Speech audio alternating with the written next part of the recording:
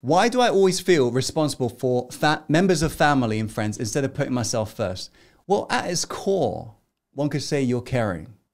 Likewise, with all of us tuned in. Yes, you, you care. so it's rooted in love. But one could say to really love others, you got to know how to love yourself. One could say you can't really look after others unless you've looked after yourself. Because how can you possibly inspire someone when you're not inspired? That's called fake. And it's not going to be genuine inspiration for them. That's for sure, right? Have you ever tried to get a pep talk from somebody who is really not motivational? It's boring and it feels very inauthentic. How can you really motivate someone when you're not motivated?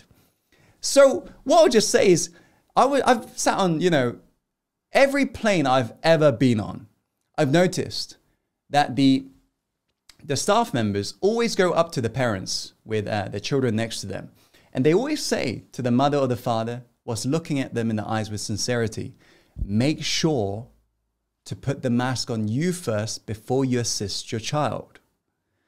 Why do you think they do that? Why? Why, why are they always doing that on a plane? Make sure to put the oxygen mask on you before you assist your child. Why? You cannot help your children properly unless you've helped yourself first. Is this making sense? In life, it's exactly the same.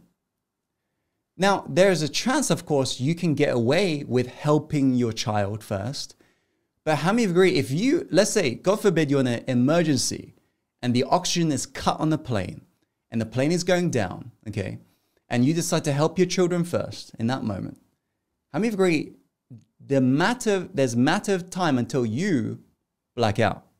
Why? Because you didn't help yourself first. And now the child cannot be helped. How many agree in life? Pretty much the same.